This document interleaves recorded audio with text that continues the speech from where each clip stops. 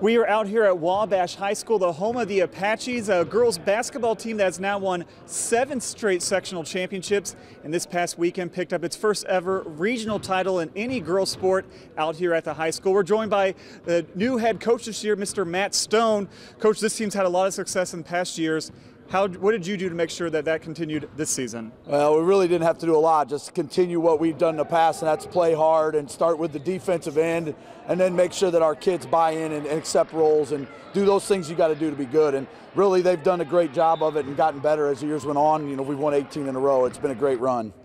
With seven sectional championships in a row now, is this program going to be just as good going forward? I mean, with you here under the helm, I mean, are these ladies ready to go by the time they come in here to the program? Hey, I'll tell you what, we've had kids step up every year along the way, whether Coach Bumgardner was here or myself, and I expect that same thing to happen. Our kids have bought in.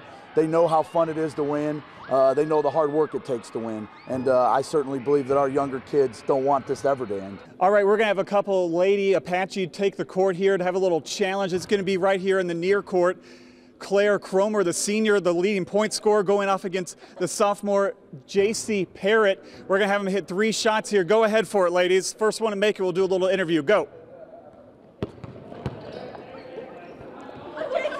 Well, I tried to give the sophomore a head start, but it did not pay off. So Claire already with a layup, and so did Jamie. Now Claire just needs a three-pointer. Jamie needs to start making something here. Claire no good the first try. I think JC needs a little encouragement. Can you guys cheer on? Help her get the rebound. There we go.